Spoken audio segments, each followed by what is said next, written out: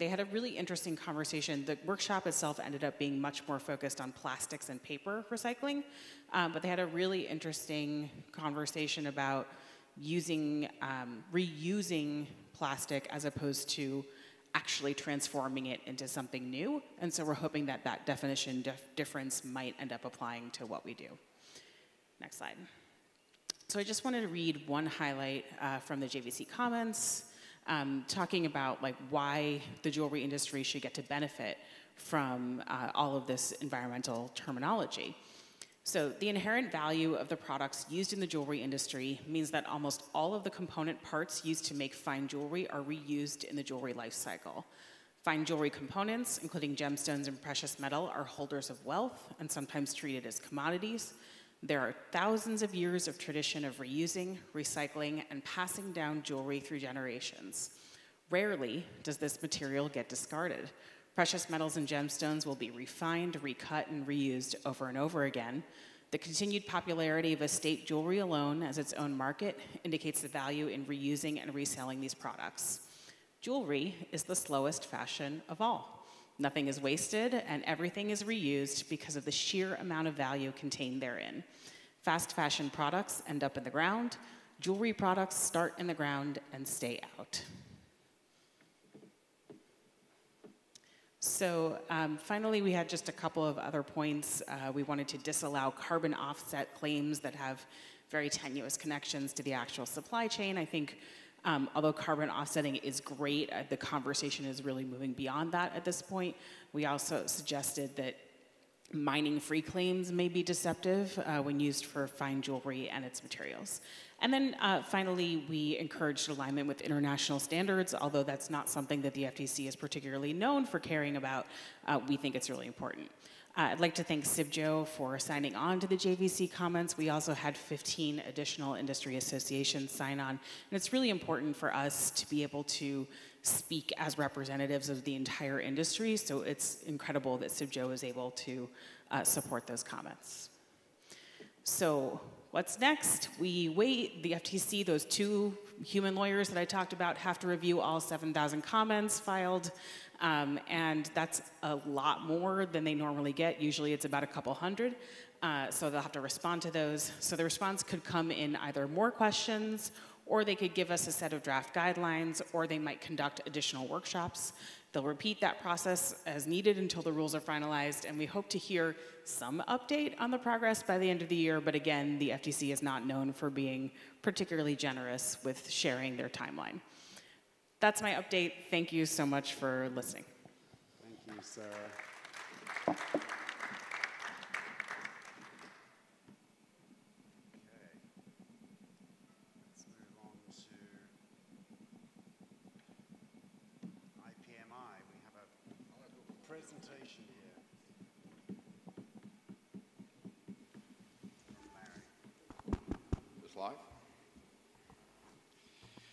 Hi, I'm Larry Drummond. I'm the Executive Director of the International Precious Metal Institute, which is a trade organization for the precious metal industry.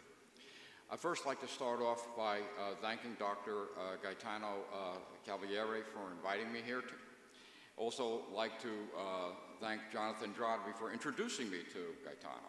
So, my role here today that uh, Gaetano requested I do is to tell you a little bit more about the IPMI and to plant some seeds in your mind on how the IPMI and the jewelry industry could collaborate more together.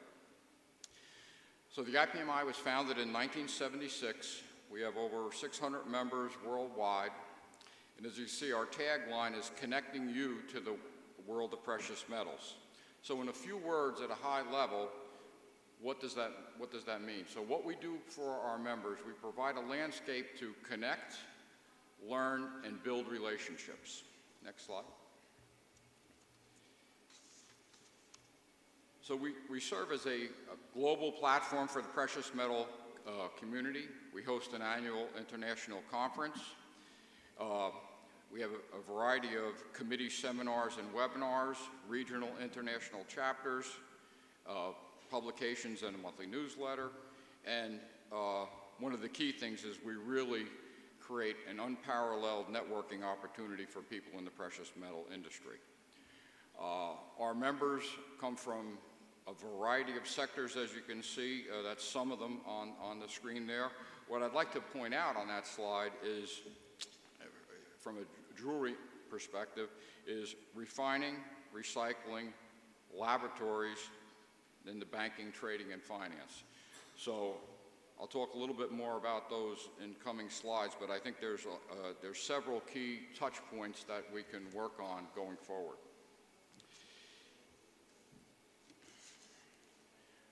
Okay, so we have an, uh, an annual conference, which is a four-day event. It's held every June, and we typically have about 500 people attend those, uh, those uh, conferences. Um, again, our seminars focus more on in-depth topics. They, the seminars are, are uh, a lot more technical in nature. Um, and our committees, so we have a variety of committees. Uh, Sampling and Analytical Committee, which has one of their uh, two meetings a, uh, a, year. They're having a symposium at the Colorado School of Mines in about two weeks. And again, this is a couple of day deep dive for laboratory managers, uh, and, and, it's a, another key touch point, I think, for the jewelry industry. Uh, Platinum Group Metal Refiner Committee, Security and Anti-Money Laundering, Environmental Health and Safety, Legislative and Regulatory Affairs, uh, we just formed a, year ago two new committees, a Sustainability ESG Committee and a Women of IPMI Committee. And as I mentioned, we have a, a couple of uh, uh, chapters, European chapter, New England chapter, and, and, a New York chapter. So on the first slide, you might have saw two logos. I should have pointed them out better, but we, we also have a foundation arm of the IPMI. So that foundation is the uh, Precious Metal Educational and Scientific Foundation. So it's really dedicated to promoting the science and technology within the precious metal industry. And there's an awful lot of science and technology behind what goes into making uh, the base of all the jewelry that, that you turn into such beautiful products. Uh, the foundation hosts many technical sessions at the annual conference and seminars throughout the year and produce an, an IPMI journal, which is a, a fairly detailed scientific journal that comes out once a year and carries out the long-standing charitable mission. So this is really serves as sort of a beacon of inspiration and opportunity for professionals and students. Attracting a new generation of students through the Student Award Program is something that IPMI has been at for a very long time, and these are PhD students. And our awards committee chair, my good friend, uh, happens to be sitting at the dais over here, Dr. Jonathan Jodry, like I say, chairs that committee and is also a board member of the foundation. And we host, honor, we honor institutional leadership through our Premier Awards program and hold the annual Jewelry Design Awards program, which we've been doing since 1991. Next slide. You may see a familiar face here. Uh, so at our 47th annual conference this past June, our, our most prestigious award is this uh, Tanaka Award, which recognizes exceptional contribution to the precious metal industry. And this year's winner was no one other than our Dr. Gaetano Cavalieri. So please, let's congratulate him once more here again today.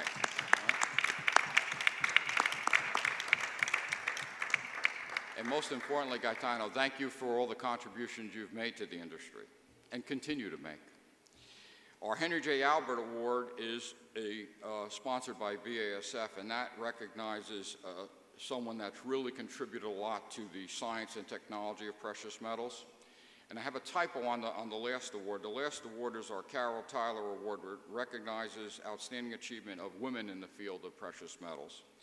And um, a professor won it uh, this year, but someone you may know, uh, some of you may well know, uh, the 2022 winner was Ruth Crowell of the LBMA. Next slide. So the jewelry, I want to just touch a little bit on this uh, jewelry, uh, jewelry design awards. This is just some pictures of uh, this year's awards winner. Next slide. So our New England chapter and the New England area uh, for IPMI is there's a cluster of, uh, of companies uh, in the greater Providence, uh, Rhode Island area.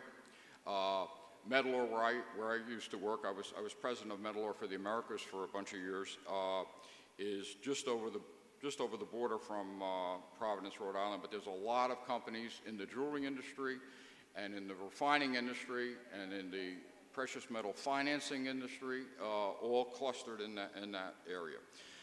So anyway, one of the key things that the New England chapter does, they've been doing this annual competition since 1991, and the showcase recognize and, and award uh, jewelry design uh, students, and they have a number of criteria, and they've given out over $300,000 in awards to these students uh, over, the, over the years. Um, I'm not going to go through the appendix, but in the appendix, uh, uh, for all your jewelry lovers, there's some more details about some of the, uh, some of the students and the, and the program it, itself. Uh, now, some of these students have gone on to uh, start their own business, but there's many that have actually gone on, and actually some still do work in Tiffany and uh, Swarovski, so, uh, so they are staying in the industry. So I have a couple of slides on, on how we may work together better. Um, when Gaetano and I talked in, uh, in Arizona at our, at our conference, uh, it was key in both our minds that the jewelry industry is sort of an underrepresented industry uh, for IPMI. And from Gaetano's point of view, he, by attending a lot, all of our sessions at the uh, conference, he thought there was a lot of value that the jewelry industry could get by being more involved with the IPMI. So that's why we want to try and work more together. So just a couple of uh, seeds to plant in your mind.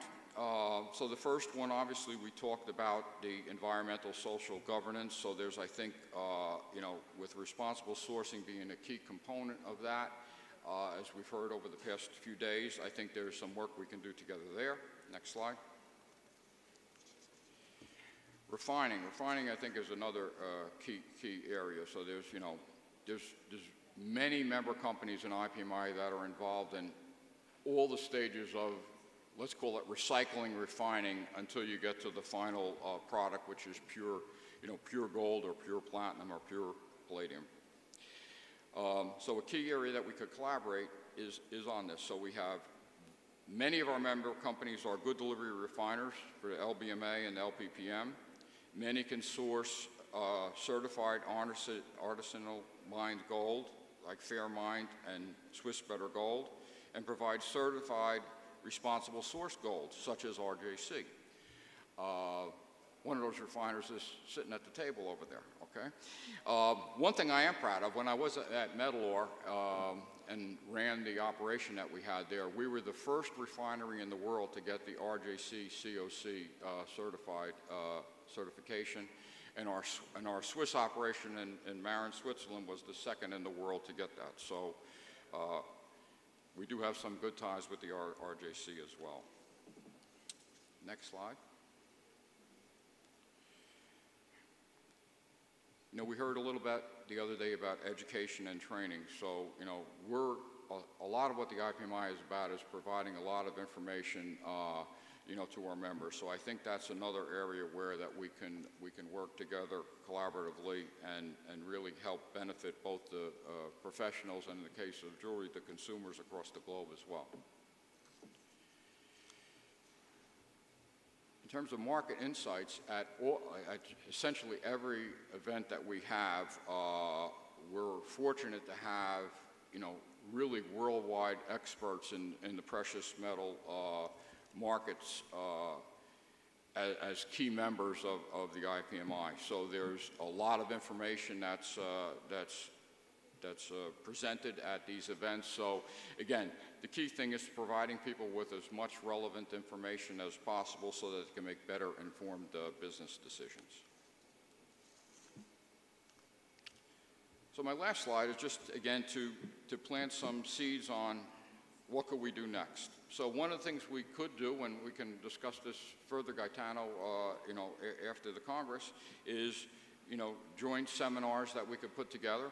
And uh, I think this would be great, not only from uh, exchange of information, but also great for networking. Because as I, I said in my first slide, that one of the key things is that building relationships. I think you, I can attest to it because I spent my whole life essentially in the precious metal industry is that it's, it's it's, you have to earn the trust, but you build the relationships after earning that trust, and that can last a lifetime in, in business. So I, I think there's a lot we can do there. And, and some maybe areas that we can consider is it could be Arezzo or Milan, it could be somewhere in Italy or somewhere in Providence, Rhode Island. Uh, those, because those, if we could have it where there's a cluster of activity, then we can have a, a better chance of attracting a lot of lo local uh, attendees as well. And also, we could have, we had a jewelry session at our annual conference. We can do that again in uh, June in Orlando this year as well. So there's some things to think about. And um, next slide. So with that, I have my, uh, my contact information there. The, the slides plus the appendix will be made available to everyone, but feel free to, uh, to contact me and I can give you uh, a lot more detailed information. Thank you very much.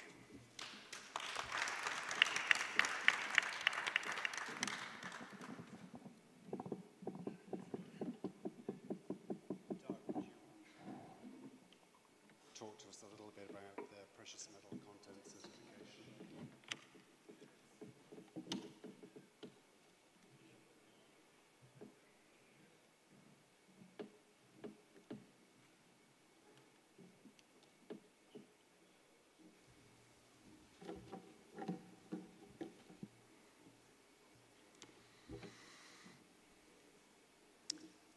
Dr. Cavalieri, thank you very much for your very kind invitation. Ladies and gentlemen, I, I've been given strict instructions that it's 10 minutes dead, so here's my challenge.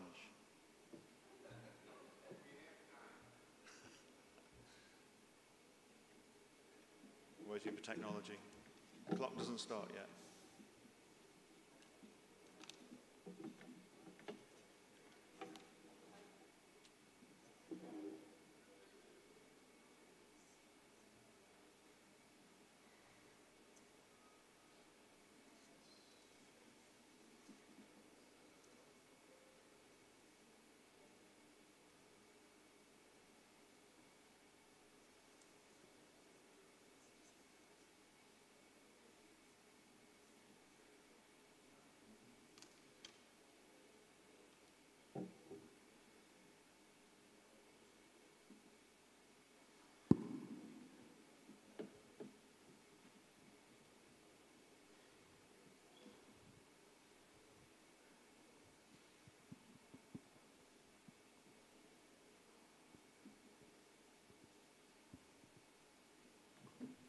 Apologies for the delay, my computer's just gone offline.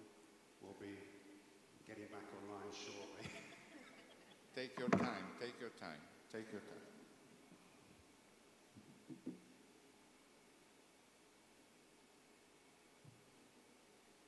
Just chat amongst yourselves for a while.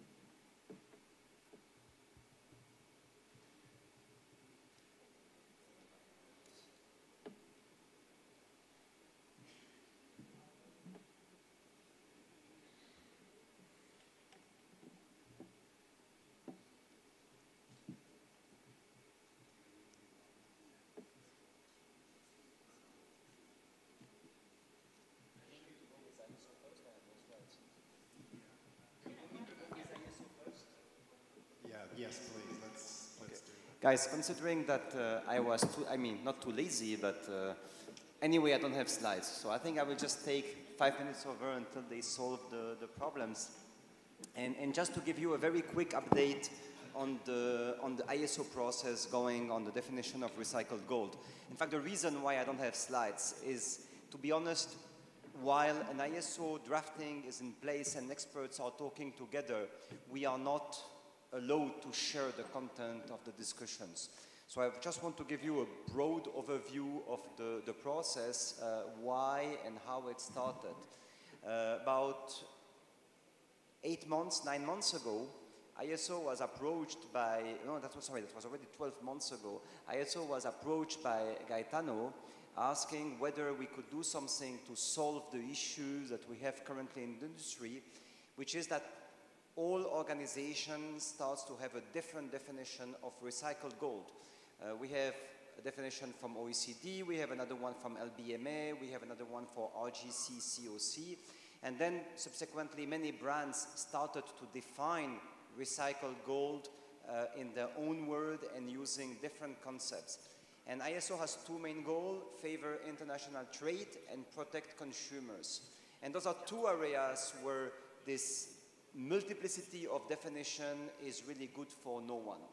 So for this reason, uh, the vote took place and it was agreed to start working on that topic. And uh, you have to remember that in ISO standards, ISO standards are open. Anyone can use an ISO standard. You don't need to get a certification or an accreditation to use an ISO standard. We were pretty afraid that people will use that definition of recycled gold and abuse that standard. For example, define that that gold is recycled, but at the same time have a gold which was not responsibly sourced. So for this reason, we created a project in three parts. And the idea is that we are going to create a standard on responsible sourcing of precious metals, which will be obviously aligned with OECD regulations, OECD guidelines, and then only companies which can prove that they are uh, in line with that ISO standard will be able to use the definition of recycled gold. Uh, there, there is a lot of discussions, and we have the next meeting on Friday here in Jaipur and online. There's a lot of discussions between uh, the experts, and to be honest, there's also a lot of disagreement. Uh, some experts think that the ISO standard should be very largely covering what today is called recycled gold, so either using uh, CIBJO or LBMA or RJC COC Gold. And other experts uh, are saying that we should, in, in fact, stop using the word of recycled gold and uh, uh, reserve that for a very small subset of gold which is really coming from waste. And we go back to the definition of waste. There is often this idea that waste is something going to trash. It's not correct. Waste is anything that arrives at its end of life and is not used anymore. Uh, it's like if you have uh, uh, glass, glass, you don't really throw it in, in the trash anymore, but we still consider that this is recycled. So those definitions, in fact, interestingly, all those definitions in ISO framework uh, were defined post uh, the Rio conference in 1992. That's where we created to, uh, to have concept like uh, pre-consumer, post-consumer uh, materials.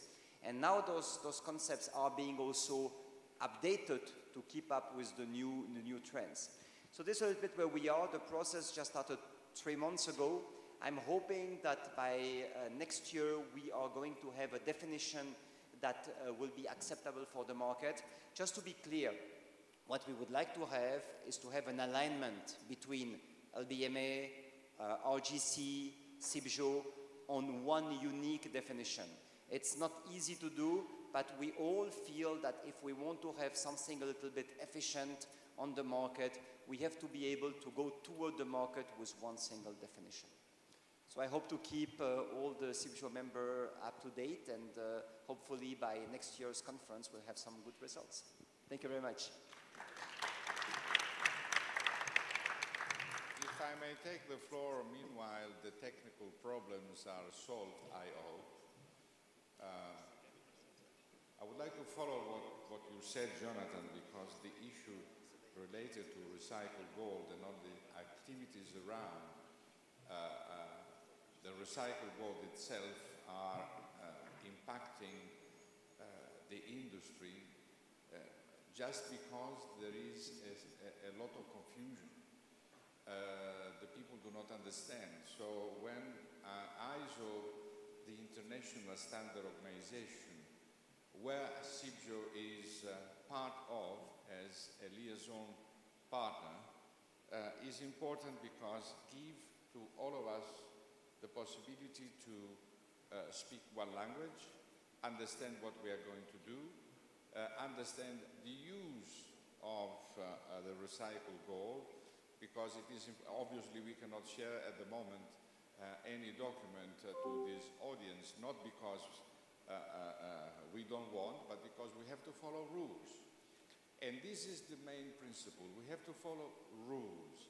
And the ISO, International Standard Organization, the rules are restricted, where the things and all the processes has to be done by the books in order that the final consumer, apart the industry itself, is uh, aware where the gold is coming from.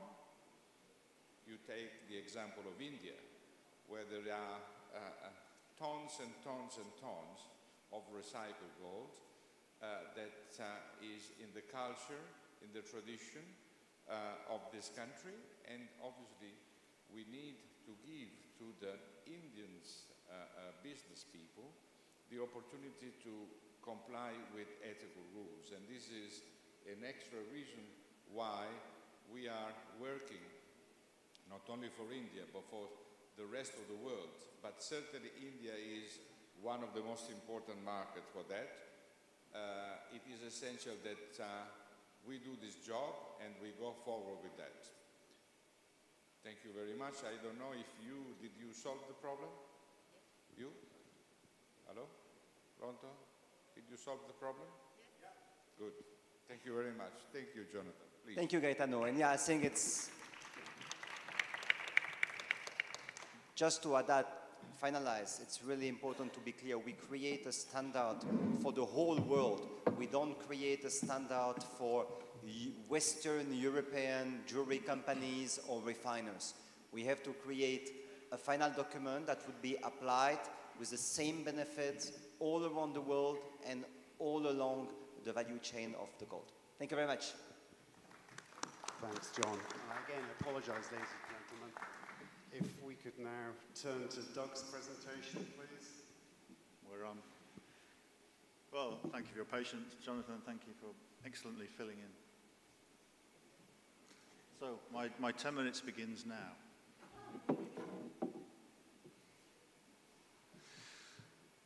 The Birmingham Assay Office is an independent certification business celebrating 250 years of operation this year. The independence of the business is set out in the original Act of Parliament of 1773 that created the business.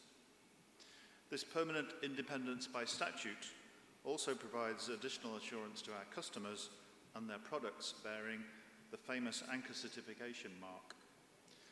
That these articles have been tested and certified to comply with international standards and regulations.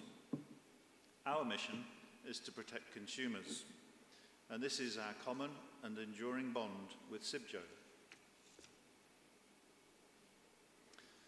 For 250 years, our business has mainly been around hallmarking of precious metals to ensure that national standards of purity are maintained.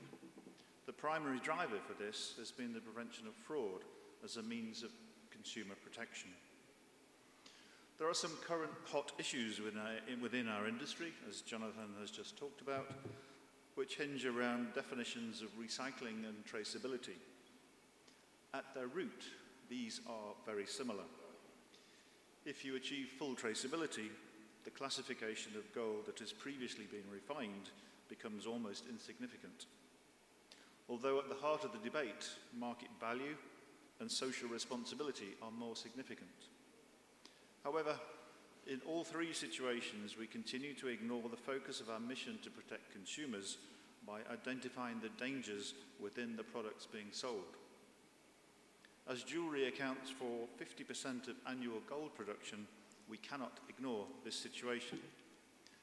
And Cibjo's primary mission is the protection of consumer confidence. Some 1,800 tonnes of, of, of gold are used in the production of jewellery on a global basis. This equates to more than 100 million articles of gold jewellery made every year. We know that within gold alloys, other elements are used for various technical and aesthetic purposes. These include the known toxic culprits of nickel, cobalt, chromium. Nickel has been identified as the leading cause of metal-induced allergic contact dermatitis, with the European Surveillance System of Contact Allergens citing nickel-related allergies at 18% of the European population, with cobalt at 7% and chromium at 4%. In the USA, percentages are slightly lower at 14% for nickel. And whilst EU regulations stipulate maximum release thresholds for nickel, US legislation does not.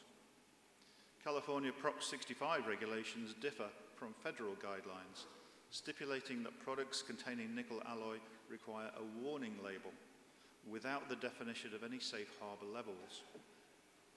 The US Federal Consumer Product Safety Improvement Act does not address or regulate potential nickel health risks. More concerning still is the growing awareness around other metals such as gold, palladium, and copper, which have also been found to trigger allergic reactions in certain cases. These statistics make it clear the issue extends beyond nickel. A comprehensive approach to examining the allergic potential of other metals is urgently needed.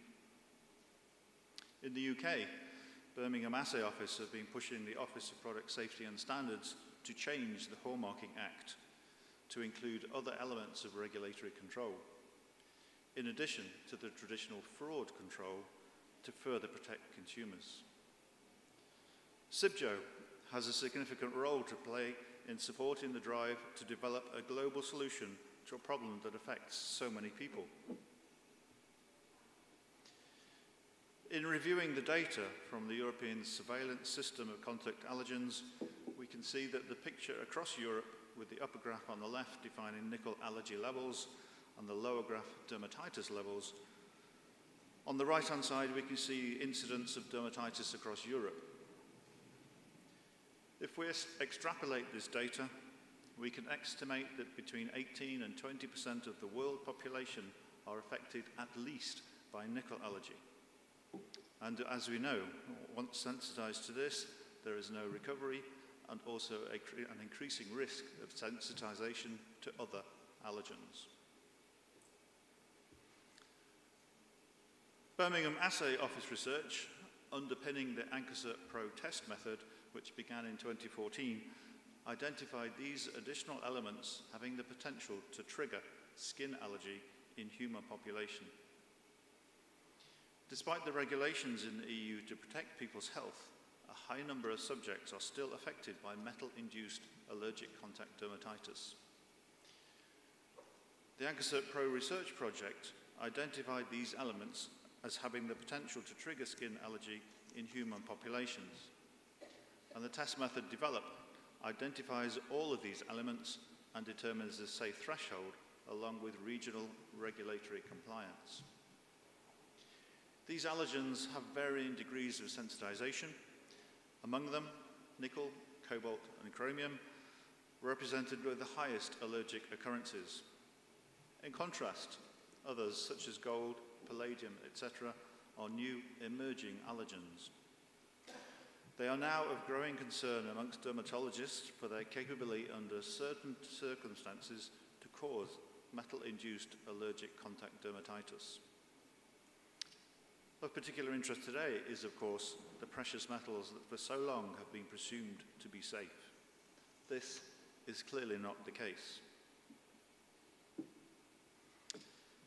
And so whilst the phrase gold allergy may be surprising to many, as it's a metal that we often associate with luxury, value, and stability. And the declaration by the American Contact Dermatitis Society in 2001 was a great surprise to all. almost severely disconcerting as we've traditionally seen gold as an inert element. In other words, it's hard for gold to react and solubilize in bodily fluids like sweat and saliva.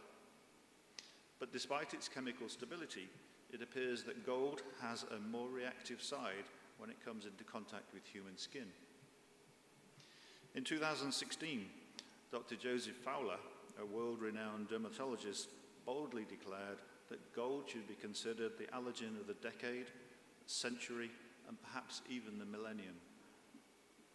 This statement has made many in the medical community uncomfortable, pushing us to revisit our understanding of gold and its interactions with the human body. Now it's a proven fact gold can indeed trigger allergic reactions. A significant percentage of the European population has shown symptoms of gold allergy.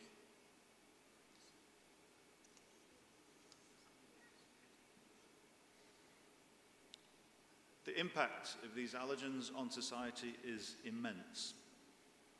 Considering that around 20% of more than 100 million articles of gold produced annually will be worn by consumers affected by allergic contact dermatitis. That's 20 million people per annum who will be impacted by allergic contact dermatitis to varying degrees. Ignoring the health risks posed by toxic elements in alloys not only compromises human safety, but also places a significant burden on healthcare systems. When allergens and sensitizations go untreated and undiagnosed due to lack of awareness or regulation, they can escalate into more severe health conditions. These may require more intensive medical interventions, ranging from prescriptive medication to hospital admission for severe allergic reactions. And this is aside from the impact on mental health. A study published in the Journal of the American Academy of Dermatology estimated the direct healthcare costs related to allergic contact dermatitis to be over $1.4 billion annually in the United States. And this figure does not include indirect costs such as loss of workdays, which can add an additional several hundred million dollars to the economic burden. In Europe, where the prevalence of nickel, chromium, and cobalt induced allergic contact dermatitis is more than 18% of the population, the economic impact is similarly staggering. These numbers become even more distressing when considering that these statistics only represent the known cases and might not fully encapsulate the scale of the problem. CIBJO, as an international organization, and its objectives must take into account the healthcare systems of developing and underdeveloped nations.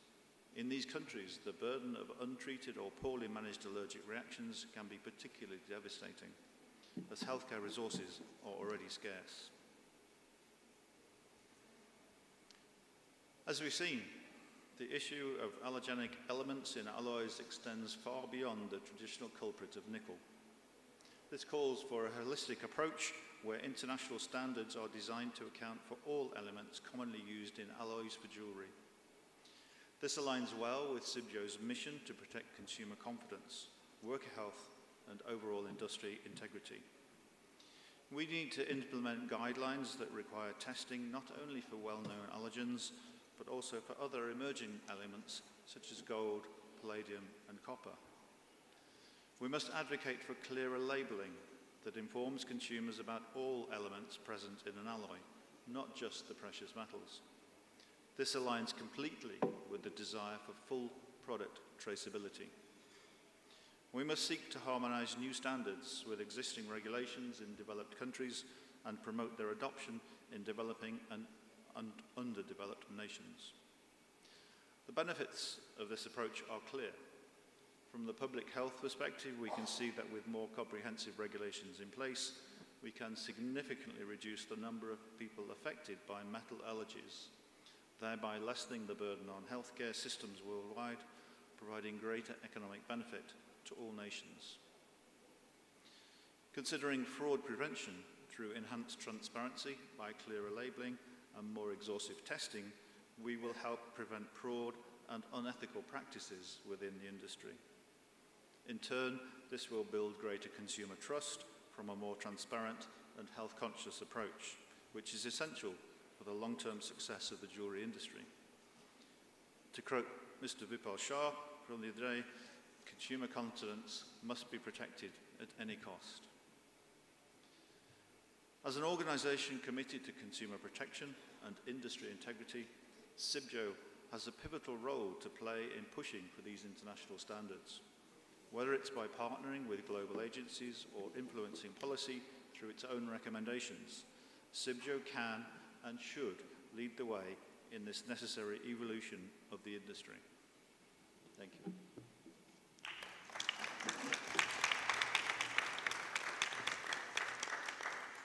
Thank you, Doug, for bringing that to our attention. That's obviously going to be a focus for us to look at in the coming year. Uh, we're happy to have you as part of the steering committee uh, working on that with us.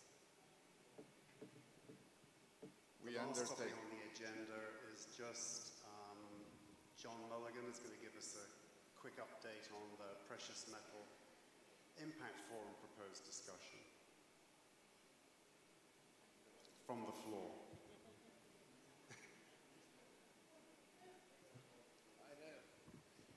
I understand why you don't want me on the stage, Huw. It's okay.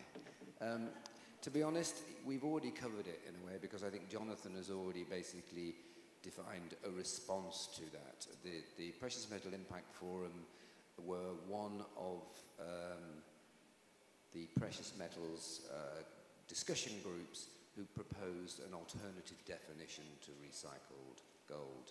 Um, as Jonathan has already stated, what the defined global responses, of which CIBJO is a part, were feeding into that process. I don't think it's, it's that important to go into that definition anymore, except to say it is out there, there are alternative discussions, sorry, alternative definitions being discussed. So I think, you, I think we've said enough. Um, when Jonathan reports back, when we report back in terms of um, our inputs into that process, I think then we'll have something more concrete to say. Thank you. If I may, from the, from the floor, so I stay seated, on, uh, on this issue, I have had some comments that were brought to the attention of the chair of the ISO technical committee who is seated next to you. Uh, and I can understand that under the point of view of ISO, following the rules, everybody is uh, welcome to contribute. But still, CIBJO, and I as president and responsible of CIBJO, which is a Swiss organization headquartered in Bern, Switzerland. Bern is the capital of Switzerland, by the way, just in brackets. I have requested that all these uh, different organizations part of this big table has to have at least the same legitimacy that CIBJO has. Because otherwise, instead to talk within the group under the banner and the flag of ISO, which I deeply respect and is essential the existence of the standard body, then maybe could create some uh, misunderstanding. so I just want to express uh, my uh, thinking, uh, both personal and as president of CIBJO, because it is important that we bring forward these activities in the way that ISO prescribe. And the rules are rules, and everybody has to respect the rules. Overcome the rules, up to now, is not allowed. That is not the game of democracy. Thank you. Thank you, Gaetano. So just to finish off on what we're going to be focusing on in the coming months, uh, we're going to be looking at edits of the Precious Metal Blue Book to include a definition of white gold. We're going to revisit clause 6.7 on the coating of precious metal articles and look at uh, a definition of roll gold. And we're obviously going to address the issue that uh, Doug just raised. So before we close the meeting, are there any comments, requests from the floor for the Commission to consider? Yes, if I may. Of course. Going back to uh, the excellent presentation that Doug did, and having had the pleasure to visit uh, the Blue Bricks building in Birmingham, uh, I have to express my deep appreciation and congratulations to Doug and all this management and team for the professionalism and the high level of technical uh, tools, uh, and I would say including the people because they are super expert. And I told clearly to Doug that his uh, CIBJO firm intention to work very closely with the Birmingham Assay office in order to uh, bring uh, to the consumer in every single sense, including the uh, part of health because allergy and all the other stuff. Uh, and I want to thank you for uh, having been uh, uh, so uh, immediate, uh, uh, active, more than reactive, to establish this activity and put this activity into the Commission. I truly welcome and thank you. Thank you, Gaetano. And just before I close, I'd like to again extend a thanks to Gaetano and to Steve for the support that you provide us throughout the year.